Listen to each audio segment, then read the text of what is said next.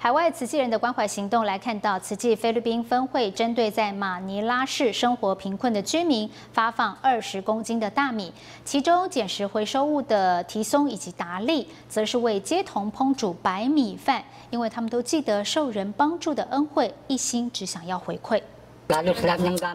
一盏烛光不到一平大的空间，就是达利的安身之处。父母相继往生后，他就靠着捡拾河面上的回收物来维生。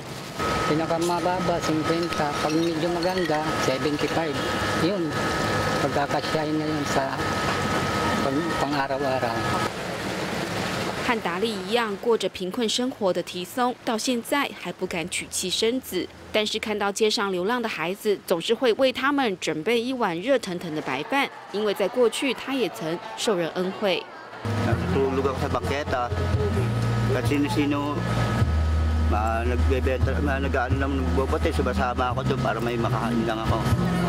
超过两千户贫困人家都像提松一样，期待着一包二十公斤重的大米。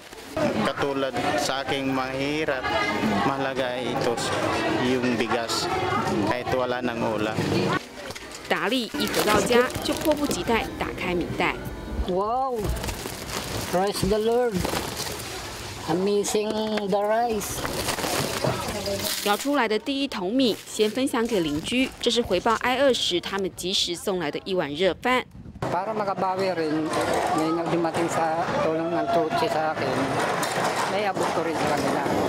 独居在桥下的李德利恩，则是立刻找来常常照顾他的远亲，把白米全都送给他们。Ayoko naman umaasa balang araw sa kanya. Siyempre, bigyan mo rin siya ng kagantihan para ang kalooban niya.